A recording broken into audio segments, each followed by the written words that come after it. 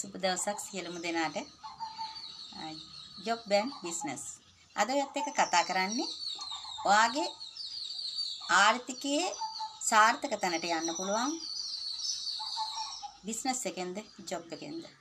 ඒ ගැනයි කතා කරන්නේ. අවුරුදු 20ක් 25ක් 30ක් යනකොට අපි මුදල් උපයන්න පටන් ගන්නවා. එතනදී අපි ජොබ් එකක් තෝරගන්නවා වෙන්න පුළුවන් බිස්නස් එකක් තෝරගන්නවා වෙන්න පුළුවන්. අපේම දෙයක් කරන්න පටන් ගන්නවා වෙන්න පුළුවන්.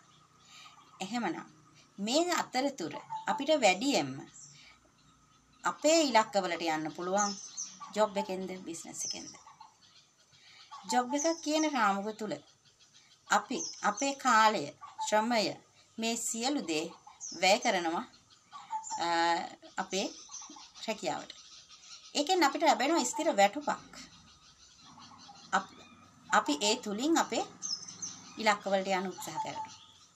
හැබැයි ඔයා කරන බිස්නස් එක. එහෙම නැත්නම් ඔයා ව්‍යවසායකෙක් විදිහට කරන ඔයාගේම දෙය තුල ඔයාට ස්ථිර වැටුපක් නැහැ. ඔයාට පටන් ගැනීමේදී මූලික වැටුපකුත් නැහැ. ඒක බිඳුවෙන් වෙන්න පුළුවන්.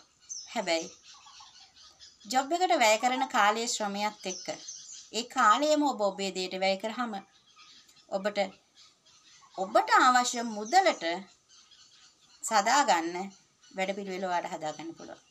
ඒ කියන්නේ අපිට ලිමිට් එකක් නැතුව හම්බ කරන්න පුළුවන්. උදාහරණයක් විදිහට ඔයත් මම කිව්වති. අපි ජොබ් එකකට යද්දී අපිට මූලික වැටුප උදාහරණයක් විදිහට හිතමු 30000යි කියලා. 30000යි නම් අවුරුද්දක් දෙකක් යනකොට අපි ඔය ස්ථීර වෙනකොට කාලය පරණ වෙන්න පරණ වෙනකොට කාලය යනකොට 30 32 වෙන්න පුළුවන් 35 වෙන්න පුළුවන් 40 වෙන්න පුළුවන් 50 වෙන්න පුළුවන් 75000 වෙන්න පුළුවන් හැබැයි ලිමිට් ඒ දෙන වැටුපායට තමයි අපි හම්බ කළ යුත්තේ. හැබැයි වා බිස්නස් එකක් කරද්දී ඔයාගේ පටන් ගැනීම බිඳුවයි. හැබැයි ඔයාට අවශ්‍ය තැනේ අවශ්‍ය මුදලට අදාළ වැඩපිළිවෙල ඔයාට හදා ගන්න පුළුවන්. ඔයා හම්බ කරන්න ඕන ගාන ඔයා තීරණය කරන්න ඕනි ඔයා. ඒක ඔයාට කරන්න පුළුවන්. ඒ වගේම ජොබ් එක තුල අපි කාලයට හිර වෙනවා. හැබැයි බිස්නස් එක තුළ ව්‍යාපාරය තුළ ව්‍යවසායකෙක් විදිහට අපි වැඩ කරනකොට අපේ කාලය හැකියාවට අනුව මැනේජ් කර ගැනීමේ හැකියාව අපිට තියෙනවා. එහෙමනම් වැඩිපුරම ඔයාට ආර්ථිකයෙන් ඉස්සරහට යන්න බිස්නස් එකෙන්ද ජොබ් එකෙන්ද පුළුවන්.